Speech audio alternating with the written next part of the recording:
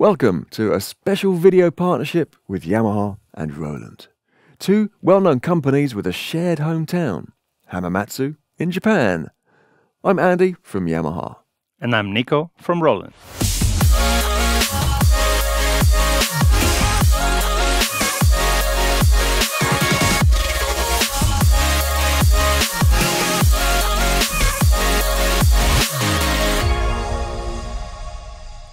We are looking at how to link Yamaha's DM3 series of digital mixing consoles with Roland's V80HD direct streaming video switcher to enhance the control and production of live and stream events featuring multiple audio and video sources. Yamaha's expertise in digital audio mixing goes back several decades, and DM3 series is one of the latest, highly compact yet professional consoles suitable for mixing audio at live events for audiences both in the room and online. While Roland has one of the most successful ranges of portable video switches for live event production, V80HD stands out with its direct streaming capabilities and advanced automation, with a perfect ratio between size and power. With both devices using network protocols for control and communication, they have now been programmed to work together. Channels on DM3 series can be assigned on V80HD for bidirectional control of audio levels and mutes, linking the faders and on or mute keys between both devices. Use assignable pads and macros on the V80HD to recall scene memories on DM3 series. This combination will be an ideal choice for a production where more microphones and other inputs are required than the V80HD can provide. So why not also use it to control the levels of all the HDMIs and SDI sources within the V80HD? Both devices together provide a very powerful and quick use AVFM production system. So let's see how to get them set up. First, check the firmware is going to be compatible and follow the manufacturer's instructions for updating. DM3 or DM3S, as either type is suitable, should be version 3 or newer to take advantage of the auto mixer, though versions 2 and older will still work.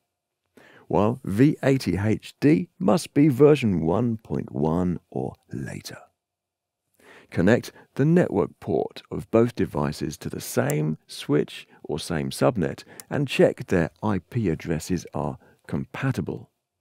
If you have the DM3 with a Dante module, make sure that Dante uses a separate switch or VLAN. In DM3 series, open the Setup menu and touch Network. Select for Mixer Control and choose the method for IP address assignment, DHCP or static. Use DHCP if a server is available to assign addresses. Otherwise, use static IP and set an address. Let's use something like 192.168.1.3 keep the subnet mask at 255.255.255.0 and the gateway address should be compatible, so 192.168.1.1.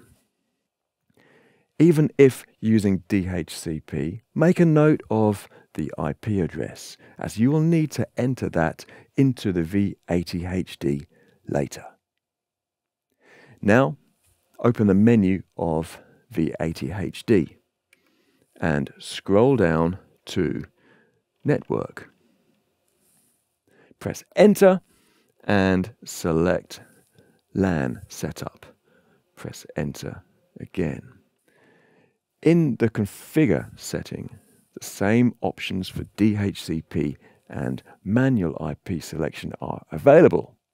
If using manual IP addresses, make sure it's compatible so something like 192.168.1. I'll set the number 80. And then the same subnet mask and default gateway. If using DHCP, you can scroll down to network information to check the assigned address. Once the address is assigned, scroll down the network menu to Yamaha Mixer Control. If you don't see it, you'll most likely need to update the V80HD firmware. Enter this menu and switch the control on. Then scroll to the mixer IP address setting and enter the IP address of the DM3 which we set just a moment ago. So 192.168.1.3. Now the audio fader assignment can be made. DM3 has 16 input channels and 6 mix buses. Any of these faders and channel on keys can be used to control any of the audio channels within V80 HD. If you intend to use DM3 channels for its own audio inputs, don't assign it. Rather, use spare channels that are not needed for direct audio adjustment. For example, I can use DM3 channels 1 to 4 for four live microphones and then use channels 5 to 8 to control the audio of the four HDMI inputs in the V80 HD. First, select the V80 HD channel and then assign its control to a DM3 channel.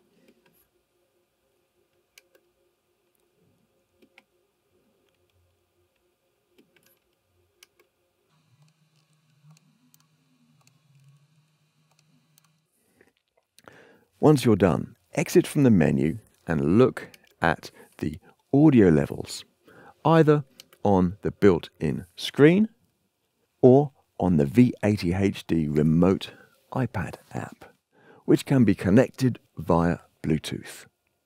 Now the DM3 has control. And the DM3 reacts when an adjustment is made on the V80 HD. Before proceeding, I ought to remove the input patch from the DM3 channels that I'm using for control, so I don't mix unwanted background noise with the intended microphone inputs. On the home screen, touch the input gain and open the input patch. Select None for the control channels. back in the V80 HD network menu. And Yamaha Mixer Control, see I can also control audio from the USB and Bluetooth inputs, SDI inputs, and all the output buses stream and record. If I want to, I could use the DM3 just as a controller for the audio mixing inside V80 HD. Or I could handle all audio with DM3 before passing its output to the live stream. Or I could have a hybrid approach with live microphone inputs via DM3 and audio from video sources remaining in V80 HD. I shall let you find your preferred workflow, but I recommend you create a new scene memory in DM3 and name the control channels you have assigned. You can even color code them and give them a suitable icon. Store the scene and create additional scenes for different sections of the event. These scenes can then be triggered from the V80 HD assignable pads. Let me show you how. Open the menu and scroll down to assignable pads.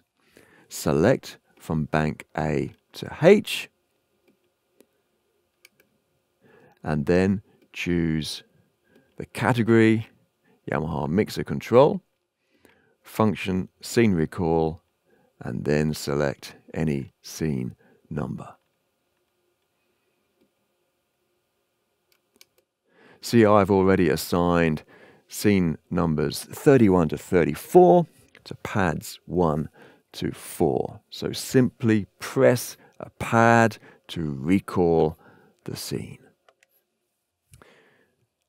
However, if you wish to recall a scene of DM3 in combination with a scene of V80 HD for changing video sources, PinP positions, and other video settings, use a macro.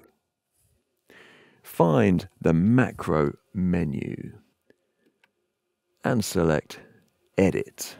Choose one of the 100 macros and scroll to Add Function.